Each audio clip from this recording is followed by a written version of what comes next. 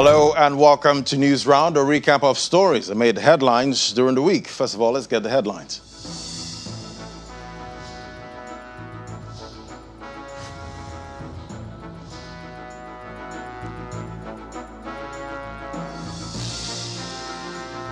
As campaigns officially commence for the 2023 general elections, presidential candidates sign a peace accord agreeing to run an issue based campaign.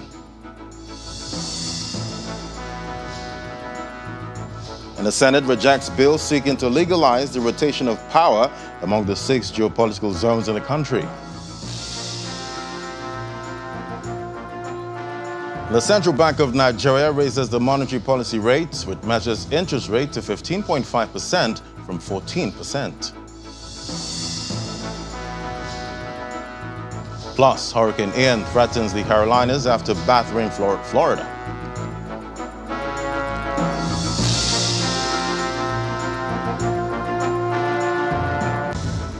That's News Round in View. Begin our news round in the nation's capital, where presidential candidates of the 18 political parties gathered at the International Conference Center to sign a peace accord, agreeing to run an issue-based campaign devoid of personal attacks.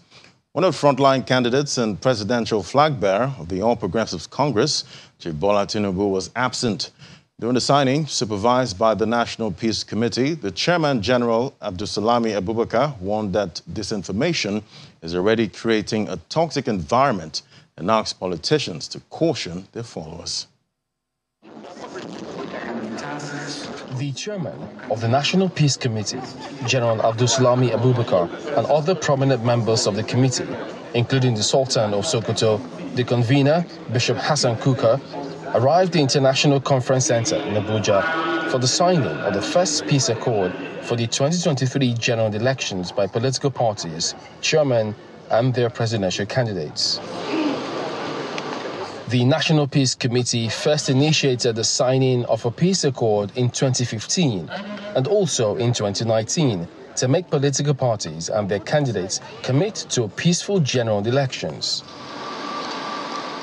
As the countdown to the 2023 general elections begins with the campaigns, the National Peace Committee is rallying all 18 presidential candidates and their party chairmen to commit to issue based campaigns devoid of fake news and disinformation, which they say is already a threat to the 2023 general elections. Fake news and misinformation continue to pose a significant threat to 2023 uh, general elections. We are calling on politicians to address issues that are fundamental to the Nigerian citizens. The Independent National Electoral Commission will vigorously monitor compliance to ensure that parties shun abusive, intemperate, or slanderous language likely to provoke a breach of the peace during the electioneering campaigns. In separate recorded messages, both President Buhari and former President Goodluck Jonathan urged politicians to raise the bar for a peaceful electioneering process in Nigeria. I appeal to the contestants, especially their publicity agents and media advisors, to shun personal attacks and to commit to issue-based campaigns and political rallies in 2023, expect our country to raise the bar of credible and transparent elections and ensuring that our electoral processes are peaceful, free, and fair. However, the Inspector General of Police warns against the deployment of personal or state owned security outfits for the campaigns and on the day of the elections. There are currently not less than 88 different Kwahis sub-national security outfits established by state governments, local governments, as well as other non-state regulated pseudo security outfits across the country under various nomenclatures. Any attempt, therefore, by any political actor at any level to form or deploy such outfits to advance partisan interests will amount to an offense punishable under the Electoral Act.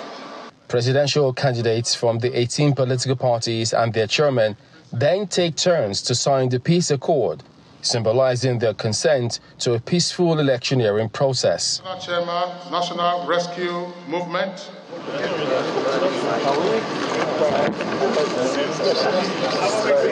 While the signing of the peace accord is quite significant in the electioneering process, the onus now rests on the candidates and their supporters who are expected to implement the spirit and letter of the signed document. We think about Nigeria first because we are all Nigerians and that we ensure that it's an issue based campaign. At least one person must lead at the end of the day, so there's no point creating violence among ourselves just because of election. It's barely five months to the general elections in 2023, and how this exercise turns out will, to a large extent, depend on the conduct of politicians and their supporters.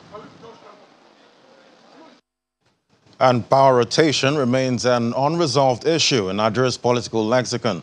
The Senate, in its sitting, has revisited the idea of power rotation among the geopolitical uh, zones of the country, but the debate was inconclusive. The bill, sponsored by Senator Abba Moro of Benue South, had earlier passed the first reading, while some senators argue that it will bring about unity and a sense of belonging for all, especially ethnic minorities. Others say it will go against the nation's constitution. SB 1053, first reading taken. The Red Chamber of the National Assembly comes alive as senators reconvene for plenary on this very vital national issue. As the senators get down to business, Senator Abba Moro is called on to lead the debate on his bill, which is up for second reading. In Nigeria, a multi-ethnic and diverse nation, the need to alternate power across the zones and governorship among the senatorial districts of the country cannot be overemphasized. This is because power rotation can be a veritable tool for our national integration unity, inclusion, peace, and political stability. However, some senators vehemently kick against the bill, which makes Senator Abba Moro hurriedly withdraw the bill through Order 42 of the Senate Standing Rules. Mr. President, we don't need to codify. Why are we waiting to codify this into law? Charity begins at home. Why waiting to codify this into law? Why don't we do, do what is right? Why don't we do what is needful? having the North having had power for eight years, power should come to the South. So they should tell uh, uh, their presidential candidate to step down from the race. No matter how we try to allow our sentiments to drive our desire for a very united, equitable country, we equally have a responsibility to balance that with the oath of office we have taken as senators of the Federal Republic of Nigeria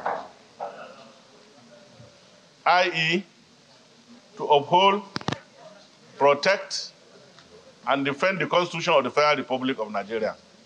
And where the Constitution specifically has prescribed the requirement for emerging into each of the offices created by the Constitution, it may be very, very difficult for this Senate to, by way of legislation, upset that provision of the Constitution.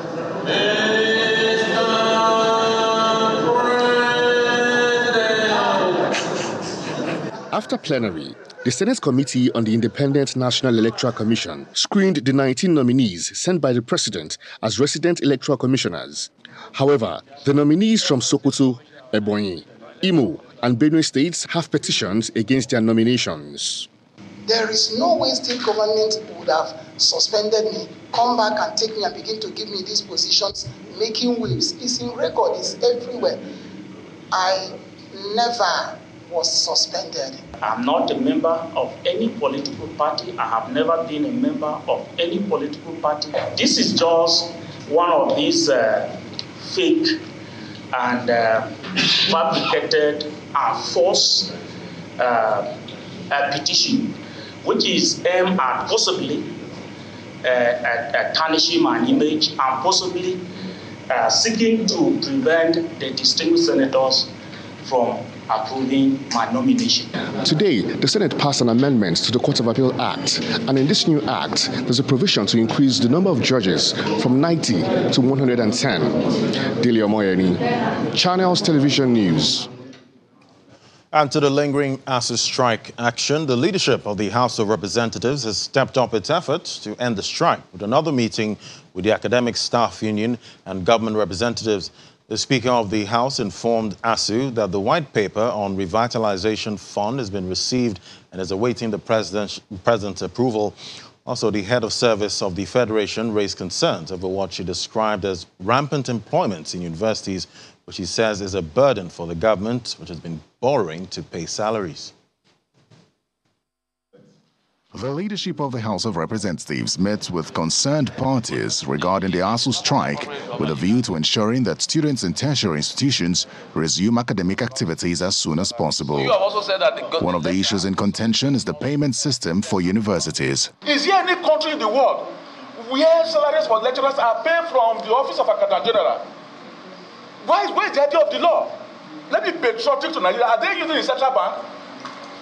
Are they not peculiar? They don't have law. Are they using it NIDA? You see, one of the risks in thinking of even adopting UTAS is that if you do this, you are going to create a room for everybody to now come to say, you know what, we're also unique, give us our own. Mr. Speaker, as we speak now in the university environment, we already have two. There are three applications. If the end of the test says that TAS or U3PS is the superior one, government should adopt that one. We are vehemently opposed to multiple applications because all that it will do is, you know, worsen our already bad fiscal situation. As far as university payment is concerned, the three solutions have failed our test because that is what we tested. Okay. As the meeting progresses, a comment from the Minister of Labour leads to a slightly rowdy session. Mr. Speaker, uh, it's jocular, but it's still serious. That what? That the also president said that APC government had kept children at home and that Nigerian people should vote out people who are no, he didn't say that. No, he didn't say What did he say? But, but, you are here. But, we're making progress. Uh, Mr. Speaker. After Adobutobi, you get it. You get the opportunity. You get the opportunity after Adobutobi. Amid the rowdy session, the Minister of Labour excuses himself with the permission of the Speaker.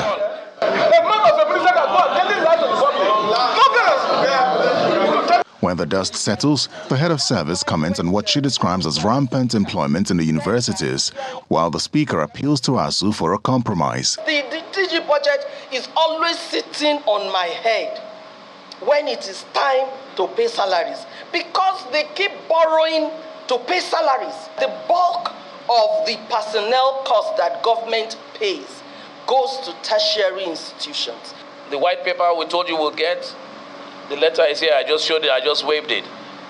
It's now waiting for uh, President's uh, final approval on the revitalization, revitalization fund. If this is the enabling environment you're trying to get to and you're here, and you cannot get to here now, but you can get to here now, to the middle, let's take it and continue to work towards getting to that final destination. The leadership of the House is hopeful that this may be the final meeting on the ASUU strike before meeting the President and appeals to ASUU and the government to accept the outcome for the benefit of Nigerian students. Terry Ikumi, Channels Television News. Power outages are not strange in Nigeria, with many resorting to alternative energy sources. Member of the House, members of the House of Representatives were treated to this sad reality during the sitting, forcing them to adjourn plenary. The outage, which occurred about two hours into plenary, lasted a few minutes, but the lawmakers were unable to continue with the sitting. It's the first plenary session of the week in the House of Representatives. Before getting down to the business of the day, lawmakers consider and adopt a motion of urgent national importance on the need for the Federal Ministry of Works and Housing to ensure immediate resumption of reconstruction of the Abuja-Kaduna Expressway. Worried that the situation on the Abuja Kaduna Highway has become a drawback for the Nigerian economy that, if not immediately rectified, spills doom for the economy and social life of Nigerians, contrary to Section 15, subsection 1 of the Constitution, which mandates the Nigerian state to provide adequate facilities for and encourage free mobility of people, goods, and services. The House resolved to call on the Honorable Minister of Works and Housing to urgently and without further delay direct the contractor Julius Berger PLC to immediately return to the site and complete its reconstruction works, starting with the Jere Kaduna stretch. Some bills are then passed through second reading, which include the National Religious Harmony Commission Establishment Bill to provide a statutory framework for the protection of fundamental human rights of Nigerians as it relates to matters of religious freedom and liberty. The bill, among other things, seeks to provide an early warning system for government and law enforcement to detect and prevent actions liable to incite religious violence and break down law and order. Also passed through second reading is the Employees Unpaid Wages Prohibition Bill, which seeks to ensure the timely remuneration of employees, whether in the public or private sector, and improve the general welfare conditions of employment for labor in the country. Both bills were sponsored by the Speaker and some other members. As plenary progresses, lawmakers are plunged into darkness. After a few minutes in the darkness, the Speaker calls for adjournment and lawmakers exit the chamber using their phone torchlights.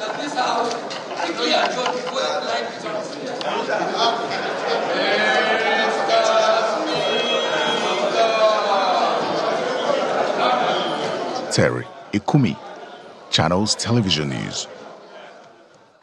And uh, African leaders may have signed the Continental Free Trade Agreement for economic collabora collaboration, uh, but President Muhammadu Buhari says the treaty will not work until there is business, political, and security integration on the continent. The president was speaking at the second African Sub-Sovereign Governments uh, Network Conference hosted by the Nigeria's Governors, uh, Governors Forum and the Presidential Villa in Abuja. Take a listen.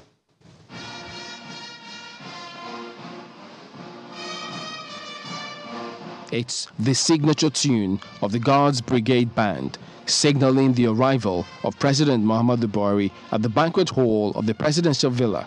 He is in company of Mr. Kayode Fayemi at the second African Sub-Sovereign Government Network Conference. Mr. Fayemi, who is performing his last major function as governor of Ekiti State and chairman of the Nigeria Governors Forum before bowing out in two weeks, insists that subnationals can tap into the Continental Free Trade Area Agreement. The African Continental Free Trade Agreement has provided us with an opportunity to deepen intra African trade by promoting a liberalized market that permits freer flow of capital, goods, services, and our people. As subnationals, with a huge potential for intra regional trade, I know that all of us here stand ready to make this dream a reality. Mr. Benedict Oramah, the president of Afrexim Bank, partners of the NGF for the event, say the bank will be spending about 40 billion US dollars in the next five years to ensure the success of AFTA. For the foregoing, it is clear to us why we must put our hands together to ensure the success of the AFCFTA. And that's why Afrexim Bank is doing its bit to make sure that this happens. We've disbursed over $20 billion in the past five years to support intra-African trade.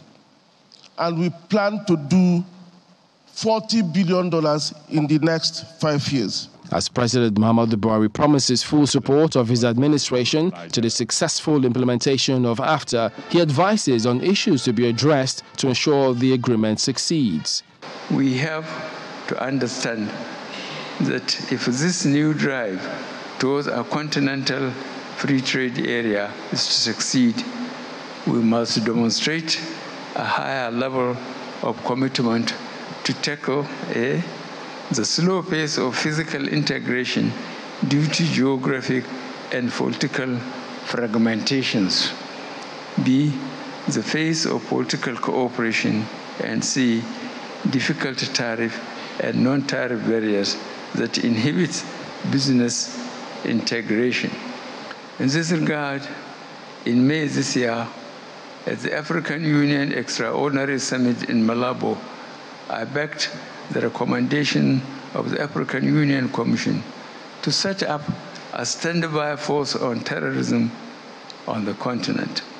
One of the takeaways of the event is the recommendation that for subnationals to successfully tap into AfTA, they must strengthen their export value chain, which raises another key aspect of several outstanding issues to be addressed in the country. And for the third time this year, the Central Bank of Nigeria has raised interest rates from uh, 14% to 15.5%. And the governor of the Central Bank of Nigeria, Mr. Godwin Emefiele, while justifying uh, the raise, explains that the decision will help consolidate the impact of the last two policy rate hikes by the CBN. Last month, the annual inflation rate climbed to a 17-year high of 20.5% as the high cost of food items continue to affect citizens. After two days of meeting behind closed doors, the governor of the Central Bank of Nigeria is leading members of the Monetary Policy Committee to address Nigerians on his key decisions. The central bank governor starts the meeting with a look at how events in the international market are affecting the domestic market, leading to the bank's intervention in the real sector, rising to 9 trillion naira in three years. While the agriculture and manufacturing sector received 66 billion naira in two months, its export facilitation program received a boost of 93 billion naira. In the last three years, the CBN had injected over 9 trillion naira into the economy, in addition to offering two-year moratorium for 10-year long-term loan facilities. The committee believed that these interventions have significantly helped to engender growth. However, in light of the persistent pressures of inflation, committee encouraged the bank to maintain a close watch on the inflationary implications of these interventions. The committee then raised the interest rate to 15.5% and the cash reserve ratio to 32.5% after consideration by committee members. However, it comes with a caution for commercial banks. As long as we see inflation trending upwards, that I cannot or that MPC cannot give any assurance to anybody that we will not continue to raise rates because we've seen rates move recently very, very aggressively. And that is the reason we are following it up in the May, in the July, and now the September meeting very aggressively for us to ensure to see to what can be done to rein in inflation. The committee also considered the intervention to clear the backlog of debts owed airlines. Yes, we will do everything possible, and we are determined to clear the backlog, and we will at um, consistently at all the retail interventions, as long as the accounts of the banks are funded, we will continue to make the releases to ensure that the, the cumulative backlog is cleared. We would like to appeal to the countries where the foreign airlines are domiciled or where their flights originate, that they should please, and we please, please beg them to give Nigerian airlines also a chance to land their aircrafts in their countries. This is the third time the Central Bank of Nigeria is increasing its monetary policy rate in 2022, as the bank insists on an economic stability plan that is responsive to Nigeria's economic growth.